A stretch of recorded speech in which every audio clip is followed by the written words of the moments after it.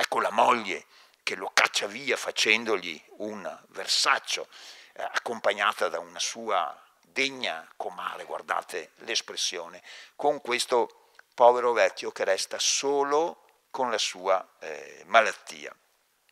Apro una parentesi perché avete visto che a Venezia è coperto da un drappo, ma qua da noi a Serravalle in Sant'Andrea è coperto da foglie. Attenti, non sono foglie di vite, ma sono foglie de morer. Come mai sono foglie di morer?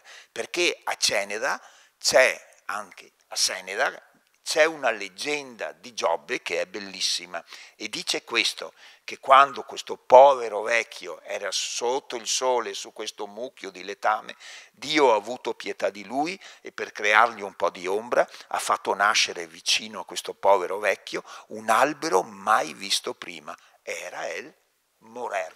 E sempre Dio ha trasformato i vermi che uscivano dalle sue piaghe in un animaletto mai visto prima. L'avevo riconosceste? È il cavalier che vedendo là un morer ha detto ben mi vai su e magne e l'attacca a me. Ecco perché da noi Giobbe è il protettore dei bachicultori e quindi si copre di foglie di morer, di foglie di gelso.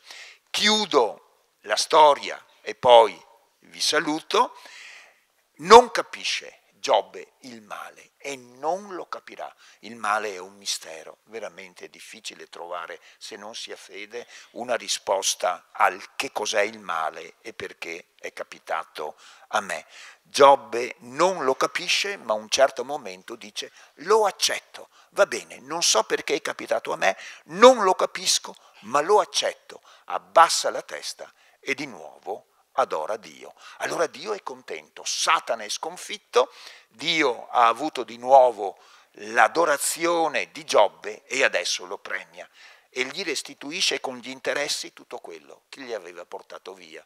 Vi ricordate? 3.500 cammelli gliene dà 7.000, 7.000 pecore gliene dà 14.000, 7 figli maschi gliene dà 14, tre figlie femmine, tre figlie femmine.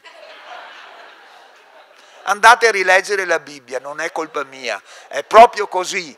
Però la Bibbia dice che sono bellissime e che Giobbe le nomina eredi al pari dei figli maschi. Con queste tre bellissime donne vi ringrazio e vi dico di nuovo buon anno.